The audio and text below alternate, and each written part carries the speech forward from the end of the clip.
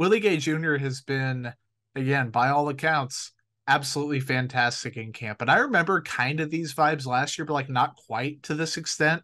Um, people expected a big year from him. He had a he had a decent year. I wouldn't say he was great or anything, but now even Conner Christopherson, who like me is pretty low on like the overreaction spectrum, wrote an article that was like titled the the year Willie Gay Jr. is upon us. Like people are buying into this and thinking he's going to explode. Um, I think the tandem of him and Nick Bolton is going to be really damn good. But the thing with Willie Gay Jr. has always been the processing ability. Like when he got drafted, people for some odd reason made the comparison to Derrick Johnson and said he was going to be that guy for the Chiefs and he was going to like I'm not saying he has a slow processor. I'm not saying that he ever did when he came in, but like he was one of the more raw players the Chiefs had drafted in recent memory. He still took a little bit to catch on. He wasn't used in coverage as much as people expected. Um, played a little bit of a different role.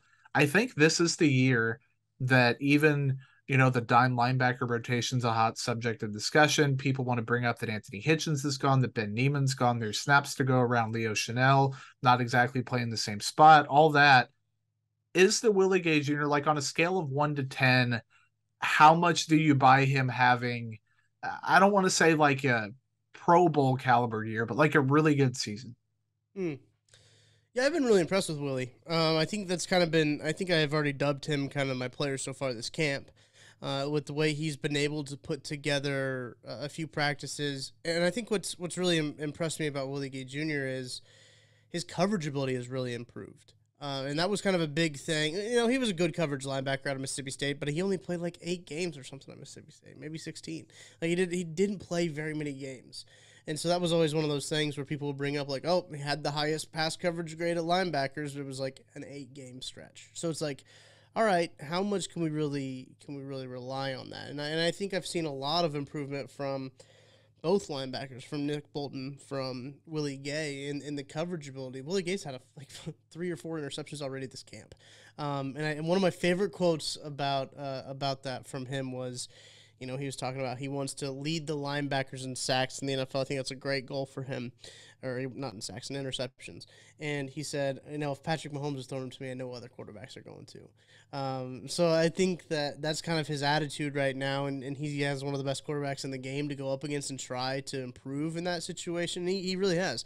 Um, so it's been very encouraging. Not only that, in, in, the coverage game, he's had a couple plays where moving downhill. Now, now we've known this ever since he was drafted, right? Going downhill is his cup of tea.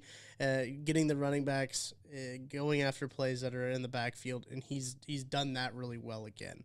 Uh, firing through gaps, identifying run plays where they're going has been has been really good for him. Um, I do hesitate to like get too excited about him. Right, um, this is a young defense, and I and I I'll, and I want to preface. You know, we're going to talk about the defense a whole lot more because I think that there's way more storylines on the defense than there are on the offensive side of the ball. Um, this defense is going to struggle week one.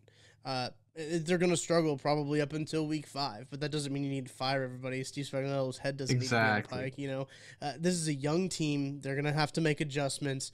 There's going to be a lot going on for these for all these young guys. Listen, you know how many rookies like you just listed off about who are in the defensive backfield. You have two, well, not two new safeties, but you have Juan Thornhill. You have Justin Reid, who's new to the team this year. You know, you're going to have Bryan Cook, who will maybe rotate in. That's a rookie going in there. You've got Trent McDuffie. You've got Josh Williams maybe cracking a little bit of reps there. Rashad Fenton who's coming back off of injury. Your L'Jarius Sneed who has looked good in all accounts. Then you talk about the linebackers here. I'm just going to talk about the whole defense, I guess. Uh, you're going to talk about Nick Bolton. You're going to talk about Willie Gay, Leo Chenal. Elijah Lee's looked really good too this camp, and he's kind of been playing that dime linebacker role a little bit.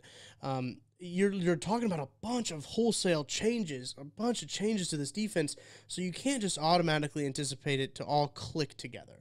That's not going to happen. So I think you kind of need to hedge your expectations for this defense. Also doesn't help that their schedule is incredibly hard. Like their their schedule is tough. This it could be like I'm I'm worried honestly about like how it's going to be optics wise because they play their first half of their schedule is insane um, in terms of who they play, and they could start off, you know, only with a couple wins, and that will deter people. But I don't think that really should deter you, uh, because good teams some time, some adjustment time to get ready. These guys have less and less padded practices every year to get ready for this with the new CBA and everything, and kind of how the everything's flipping with football. So, uh, long-winded way to tell you that Willie Gay has been playing really well, but don't freak out if he doesn't play well in the first part of the season.